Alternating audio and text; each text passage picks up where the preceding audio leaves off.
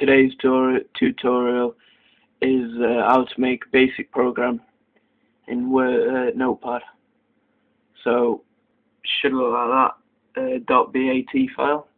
So I'm just going to show you an example of what you can make. This is a very basic example. So double click that, and it should it opens up in uh, command prompt. So it says C document settings desktop, and it says hello, and then it says press any key to continue. So press any key, and it'll say goodbye, press any key continue, and it shuts down. So, um, I'm just going to show you how I did this. So right click and edit.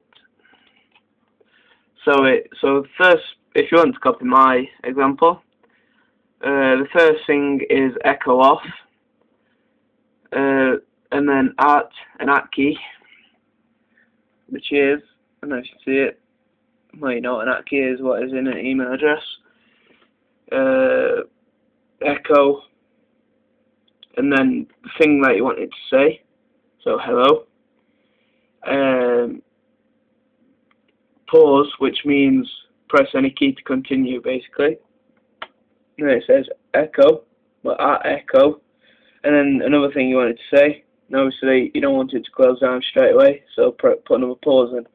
Like I say, you can make quite advanced uh, program in Notepad with colours, backgrounds, etc. But this is very basic. So if you're following this video, to save it as a bat file, it's save, well file sorry, save as, go down here. So the problem with some people that make is type hello dot bat. So save it as a bat. You want to say hello dot bat. and uh, some people leave it as a text document, which you shouldn't do.